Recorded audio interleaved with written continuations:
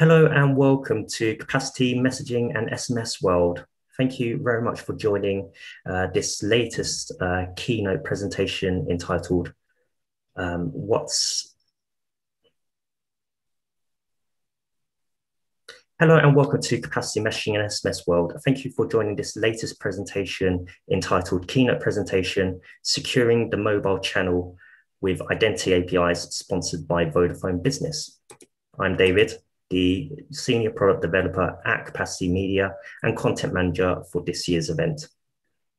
Before we get started, I would like to take a moment to say a big thank you to session sponsor Vodafone Business. Please drop by their virtual stand to say hello to them.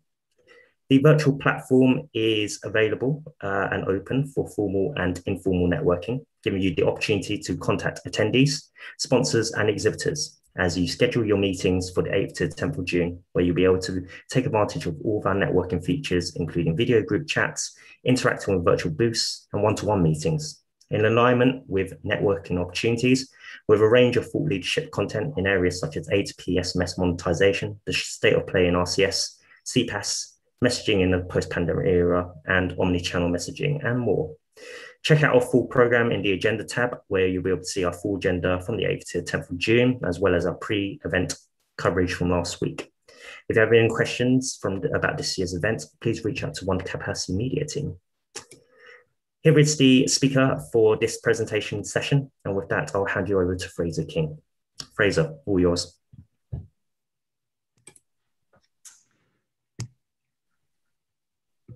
Thanks, David.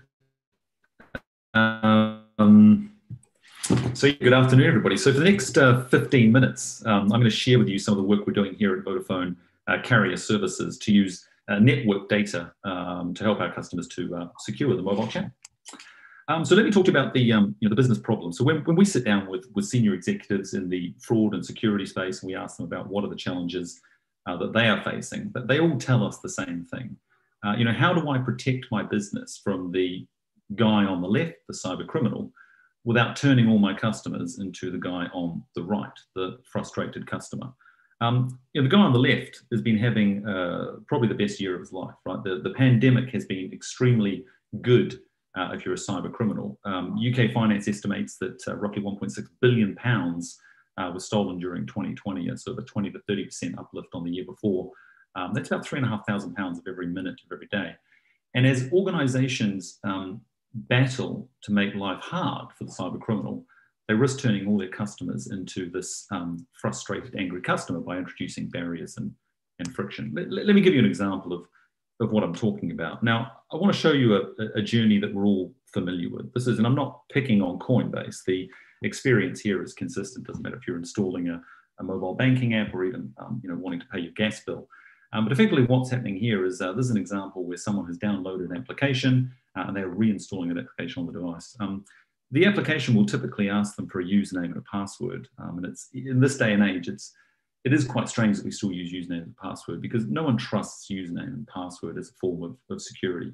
Uh, you know, over 70% of customers uh, use five passwords across every device. So knowledge-based authentication, usernames and passwords is the most easy um, uh, authentication mechanism to be, to be uh, compromised. So although it's used, uh, it's not trusted so what companies like Coinbase and others do, um, they'll use a second factor authentication, which is a one-time password. And you know, this audience will be you know, aware uh, more so than most um, of, the, of the power of the one-time password. So one-time password is by far the world's most successful uh, second factor authentication. Um, it's used around the world. Um, it is, you know, I think about a third of, of all revenue uh, from, from SMS actually comes from, from one-time password.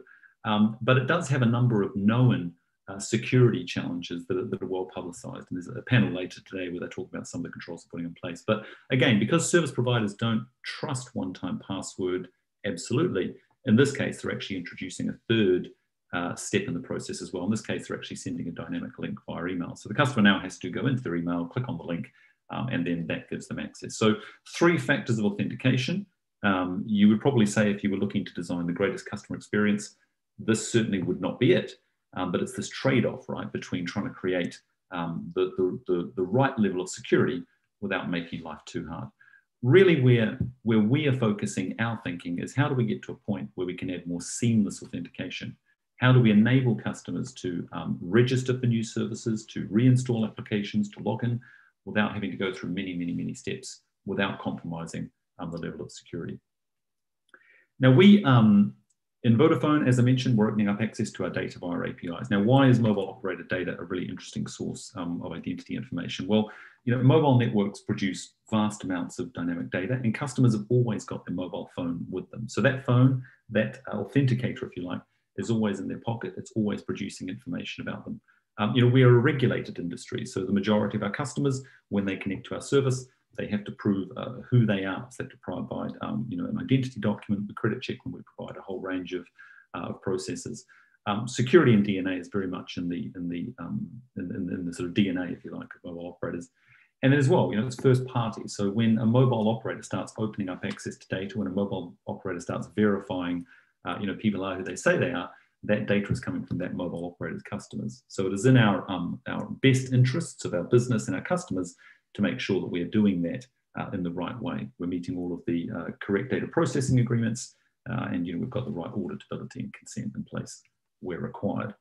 Um, so this is our um, identity hub. So for the past few years, Vodafone and the other mobile operators around the world, we've been exploring how we take the inherent authentication capabilities of a mobile network and we extend that out to enterprise customers via APIs the hub is very much our um, manifestation of, of that strategy. Uh, it's a common platform that sits across the, the Vodafone group. Um, it's aligned to uh, Mobile Connect standards, OpenID Connect, uh, OAuth, and it's part of a cross mobile industry initiative to open up common products and services, common APIs uh, across, the, um, across the mobile industry. Um, it delivers a comprehensive portfolio of APIs. You can see them listed. Uh, we then kind of bundle those APIs into services, and those services then uh, address different um, use case or kind of user challenges um, inside of the, uh, the, the, the, market.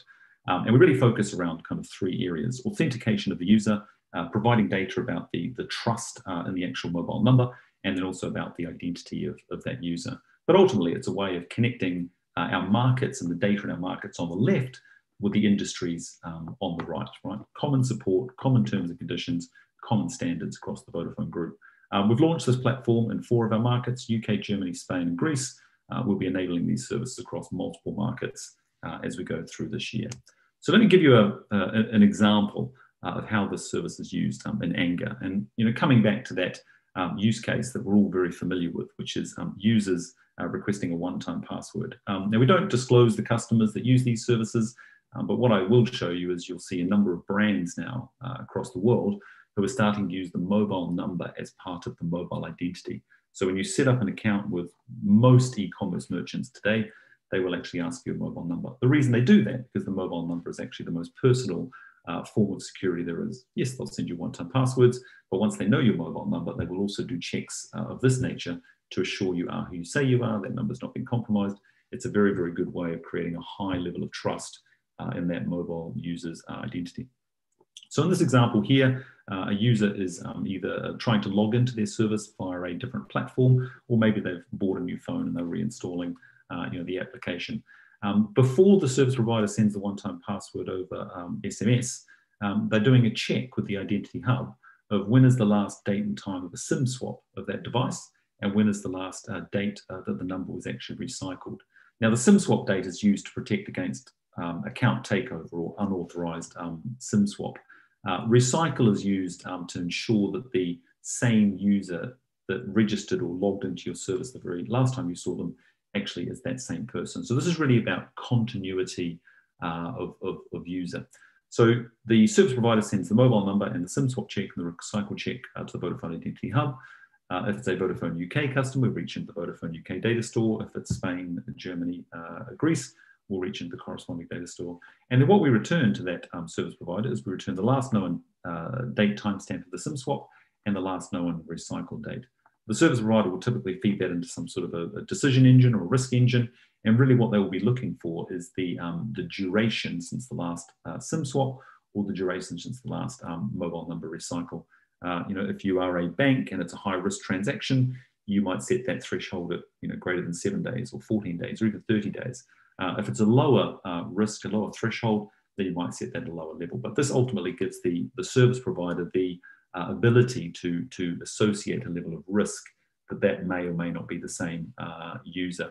Um, recycling is used, obviously, if the user is not logged in for a you know, number of months, for a number of years, uh, what you know is it's the same user it was six months or a year ago, right? That number is not being recycled, issued to a new user uh, who is either you know, trying to impersonate the genuine user, uh, or potentially uh, that number is being allocated to a new user who is legitimately trying to re-register for your service. So this is about giving um, the service provider a level of control uh, in the continuity of, of, that user and that, that service.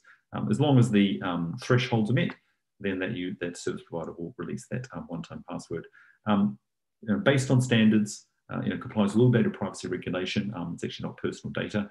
And also from a PSD2 perspective, PSD2 has made it pretty clear uh, that you shouldn't be sending one-time passwords to users unless you have conducted some form of additional check to ensure that that user is still under the control of the same SIM card or the same number. So we see these very much as creating uh, a PSD2 compliant solution, uh, you know, for anyone sending a one-time password. So what does that um, look like in reality? Well, this is just giving you a bit of a walkthrough of, of, when you start joining some of these services together. So this is the user experience because what I just showed you, all of this happens in the background. The user doesn't see any of those communication between the service provider and the mobile operator to confirm that kind of continuity. What, what does the customer see? Well, what I'm showing you here is actually a, um, going back to that first use case where someone is re-registering an app for the first time. But this is actually using two of our APIs. It's using our SIM swap API to make sure the user is still under control of that number and that SIM. And it's also using an, an API we call a number verify, which effectively issues a token uh, to that mobile app. That mobile app can then uh, join back to the mobile uh, number. So let, us let, walk through what's um, what's happening there. So the first thing you'll notice, this is a, a Vodafone customer downloading the Vodafone app, using it for the first time. What, what you'll notice is they download the app, they never enter a username or a password because they don't need to enter a username or a password because we're effectively um, enriching that session with a token from our mobile network that's joined back to that um, uh, mobile number. The user is able to authenticate. I mean, this is this is zero friction for the user. The user is also not actually seeing this code, so the user can't be uh, socially engineered into reading that code out. If there's malware on the device and that malware is trying to kind of pick up uh, that code, that code is no use. That code can only be exchanged between the service provider and the application vendor. So really what you're starting to see now is you're seeing a seamless authentication journey, right? We're removing friction from the user experience without compromising uh, the level of security that's being offered um, to the consumer and to the uh, service provider. Now, um, this service itself, uh, we on Vodafone actually launched a service across 11 of our markets. You can see the 11 markets on the right-hand side uh, over 104 million mobile users are now accessible uh, to this service. And probably the, the easiest way of uh, thinking about if you're a service provider, this is taking what an authenticator does, but it's effectively building that authenticator into a network layer, which you then build into your application, right? So completely seamless, zero friction to the end user, um, but creating a much, much higher level uh, of security than sending um, you know, uh, one-time passwords and, and, kind of other codes uh, kind of out in the open. Um, so a little bit of a feel for, for kind of how we're doing it. And that really um, ultimately brings um, me to the um, end of this presentation. Um, we have a, uh, as, as, David mentioned, you know, Vodafone has a, um, a booth at the event. Uh, you can also, you know, check out our website. You can search the Vodafone Identity Hub. but if you're interested in some of the topics that we've talked about today, we'd very much welcome the opportunity to, to hear from you and to speak to you more about these services. Thank you. Um, cheers. Um, thank you ever so much, uh, Fraser, uh, for that. Um, really insightful um, presentation there on uh, identity APIs and uh, your company's uh, strategy uh, within that sphere. Um, so um, I just want to say thanks to session sponsor Vodafone Business for this year's event. please do find time to engage with them. The next session is our keynote panel at 2 p.m. BST entitled What's Next for Enterprise Messaging as we look to enter a post pandemic world. All of our sessions will be made available on demand on Swapcard for up to 30 days after the conclusion of this year's event, so you won't miss a second from this year's program. Um, thank you very much for joining us, and we hope you enjoy the rest of the event. Goodbye for now.